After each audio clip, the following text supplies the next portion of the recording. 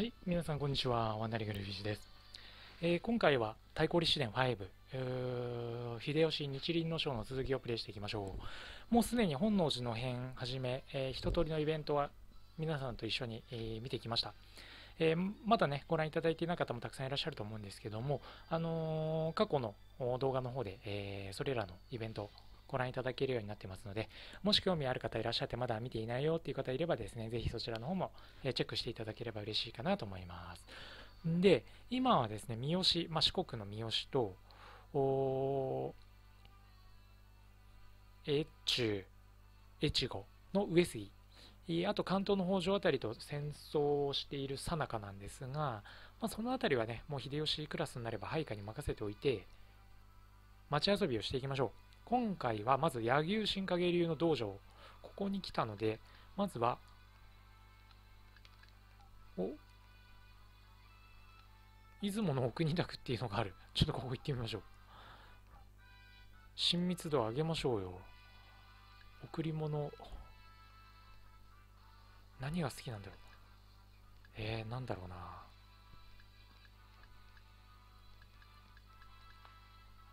この屏風とかあげあげてみますか？源氏物語の屏風。それなりか。ちょっとこの後ね、お国ちゃんとは仲良くなっていきましょう。んで、まあ、それはさておき、宿屋に行って、しばし、体力を回復した後、柳生新影流道場に、殴り込みに行きましょう。赤松が鳥取城の攻略に失敗か。そろそろしっかりやってほしいけどな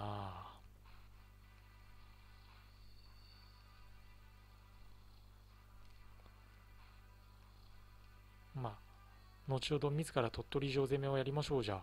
その前に、道場で、柳生新影流の道場破りをしましょう。入門はさせてくれないんでしょ？であれば、手合わせだ。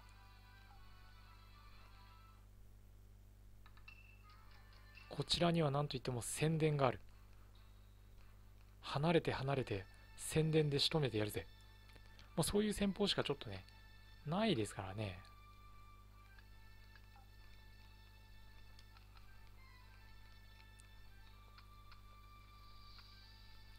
これ宣伝の斬撃の範疇に入ってるね。まずは食らえ。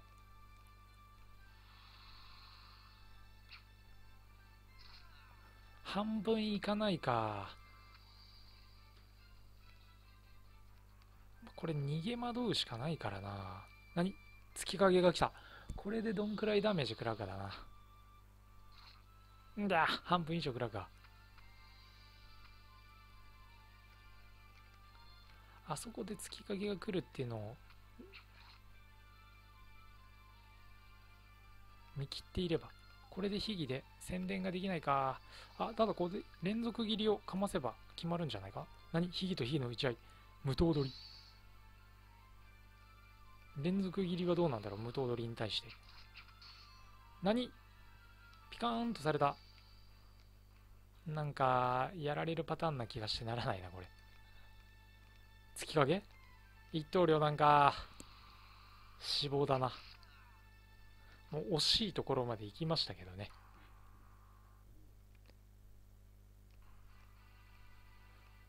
まあそりゃあんだけバッサリ切られたら 体の調子も悪くなりますよね。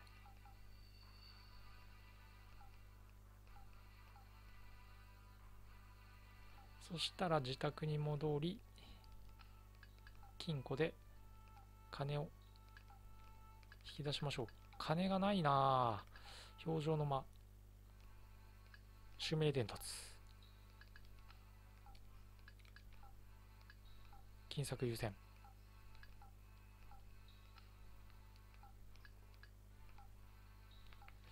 で、これでよくて、あとは輸送ですね。物資を集めましょう。何を集めるかというと、軍資金を集めます。んで、えー、っと、この状態で休養して体力を回復したら、鳥取城攻めにかかりましょう。で鳥取城攻め終わったらまた柳生宗成のところに行きますか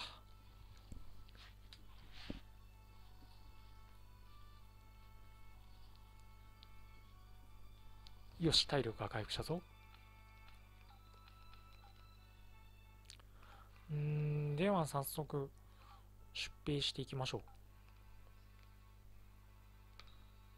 鳥取城ごときなぜ落とせないんだ？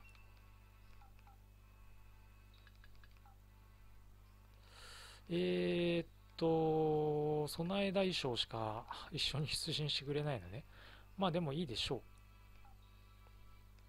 やっぱり安心と信頼の庭長秀。絶対来てくれる。庭長秀が来てくれなかったことはないですからね。今まで。んでな。さらに援軍を要請しましょう。ここまで援軍要請したらどうにかなるでしょう。元就に援軍を要請しましょう。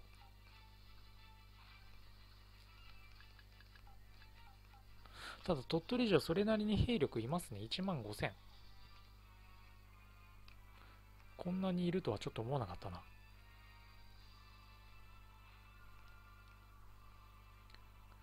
さあこれで総勢4万の軍勢に膨れ上がりましたね。あとは敵方に援軍が来るかどうかぐらいかな。気になるポイントとすれば。うん。敵の援軍がやっぱり来ますね。じゃあこれを叩きましょう。備え大将しか連れてきてないのが、ここであだとなりそうな気もしますが、敵が前に出てきてくれれば、むしろ敵の側首そのまま落とすっていうのもありですね。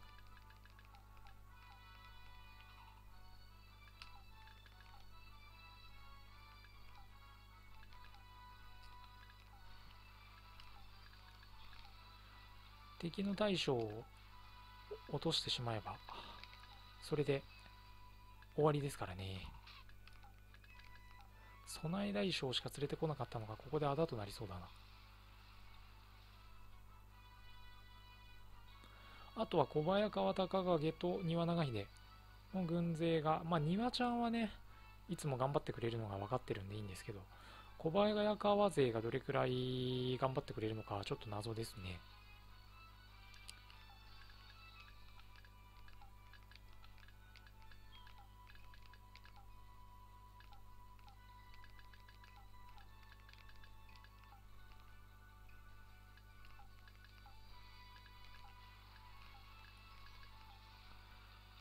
ま一気に大将を倒せばそれで城が取れるんでそれを狙っていきたいんですが。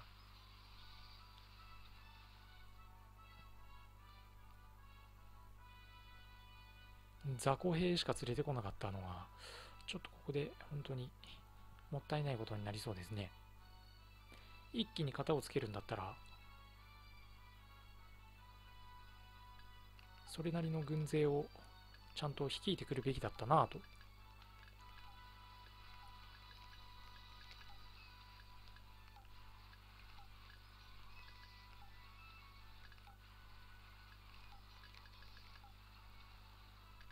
備え大将ごときでは話にならんっていう感じですもんね。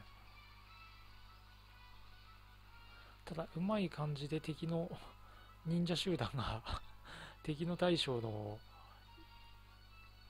何て言うのかな、道を塞いでくれてるっていうのはありますね。これは本当に首が落とせるかもし、首がっていうか、大将を先に殲滅できるかもしれないな。願ったり叶ったり。ただ、撤退していく感じか。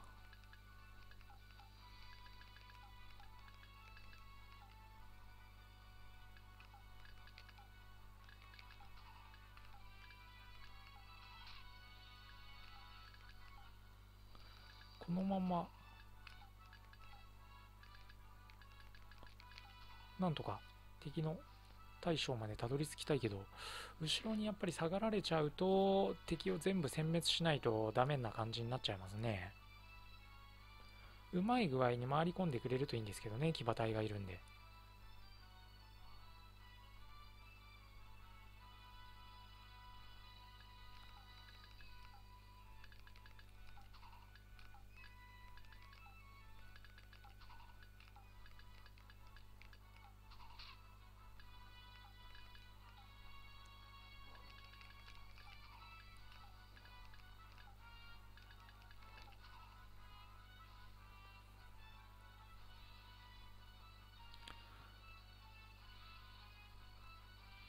秀吉が倒されるっていうことだけはないように注意しましょう。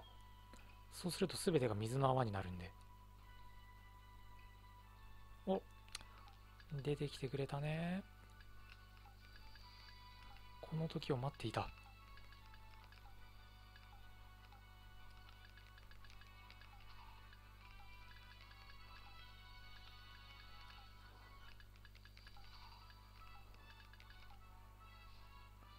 本当に備え大将しか連れてこなかったのがもったいない。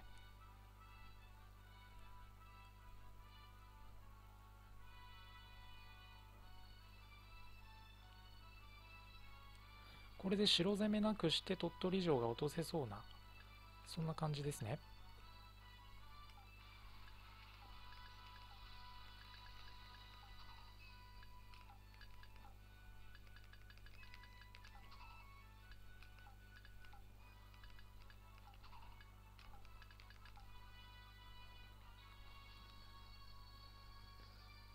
さあ残りの敵の数1500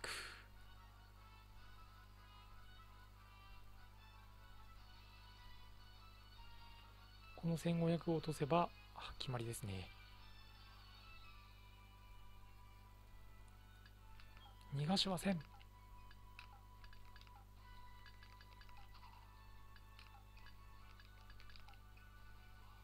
よし。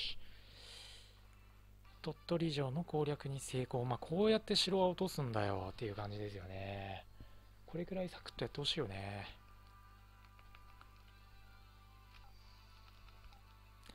よしそしたらこっから先は柳生宗成をなんとか倒しましょう。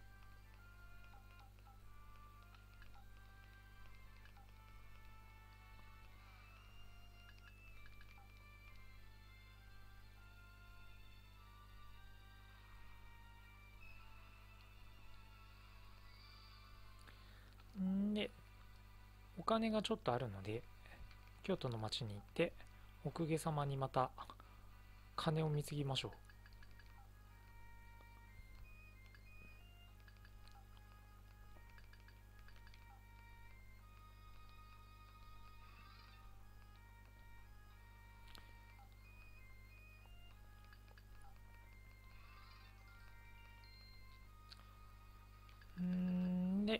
宿屋に行くぐらいになったら奈良で行きましょうさあ柳生に再びお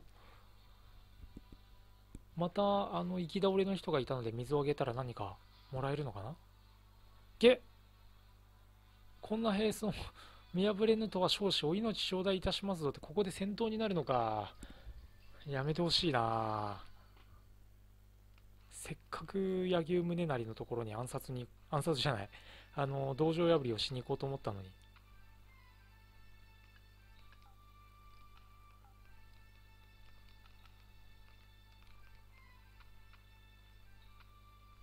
おこれは宣伝の斬撃場に入ってますね。暗い。おおちょっと残ったか。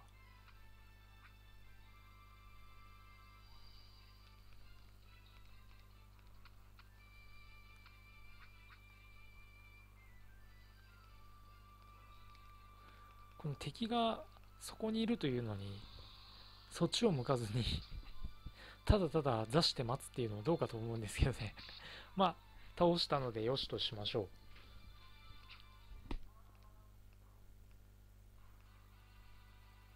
さあこれで宿屋に行って今受けた二重区内の傷を癒しましょう。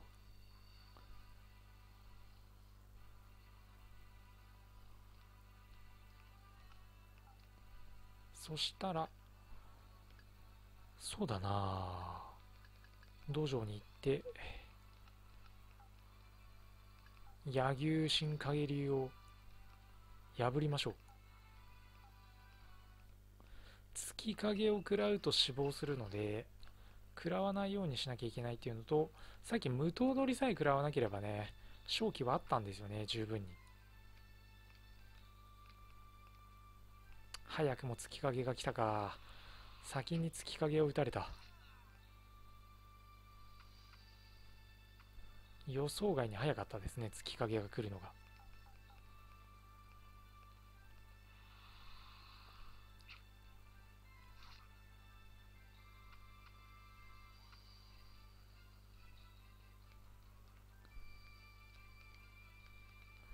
これってもしかしてもしかしてだけど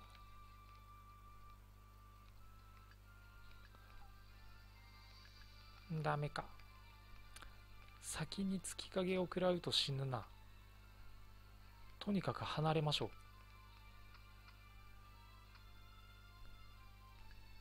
う。で宣伝が入らないか。宣伝がもし入ってればっていうところでしたけどね。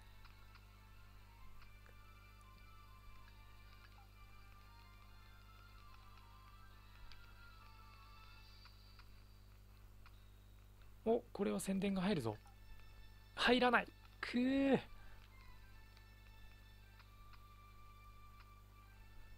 今度こそ入るんじゃないか。食らえ。我が宣伝を食らえ。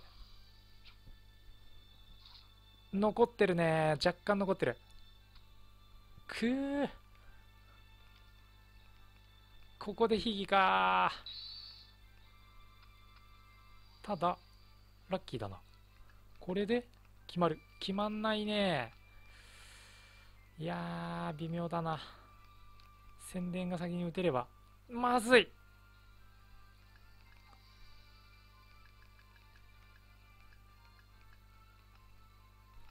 かこんなに再接近されるとまずいな。無刀取り。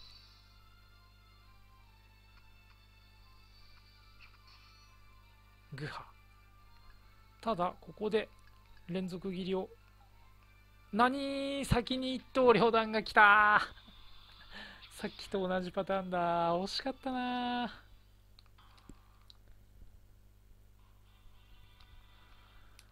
いやー惜しかった。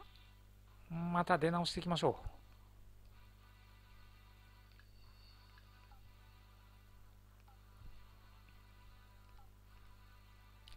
う。では城に行って。みんな軍資金調達してきてくれたね。休養して。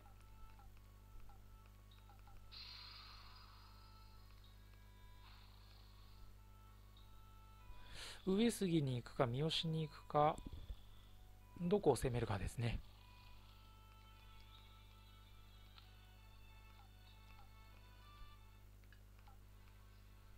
さあどこを目標にするか、まあ、四国に攻め入るか上杉を攻略するかですが、まあ、上杉っていうよりかはまずは四国にもう一歩くさびを打ち込んどいた方がいいかなっていうことで四国攻めをしましょう。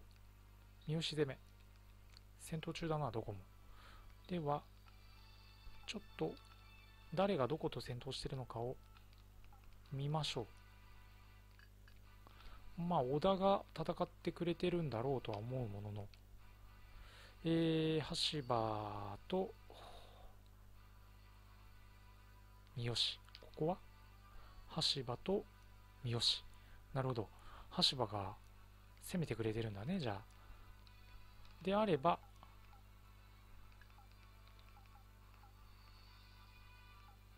自らも。合戦に出ましょう。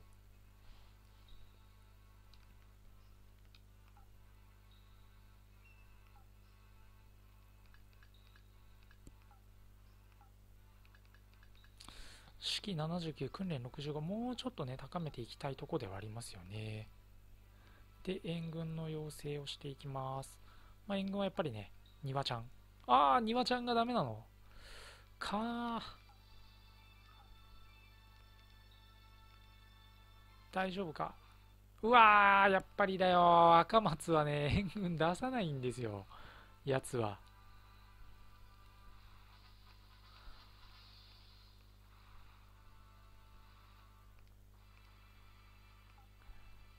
やっぱね庭長秀が間違いないんですよ。援軍を頼む時は。援軍を頼むといえば庭長秀。あとは毛利。さあこれでどんくらい兵がいるかっていうと大した数はいないので援軍が来なければサクッと落とせそうな感じですね。しかも毛利自ら来たし。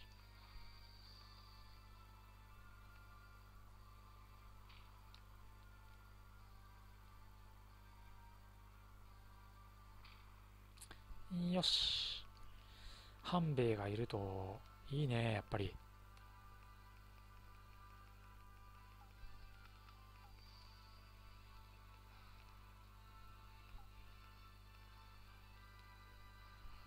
こんな感じでガシガシ城を落としていきましょ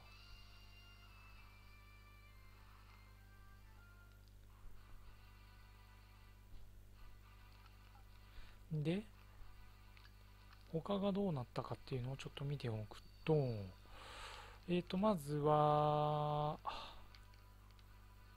お落としてるね城は。総合城も。これであとはここだけだな。川の江城を残すだけだ三好も。順調順調。いい感じできてますね。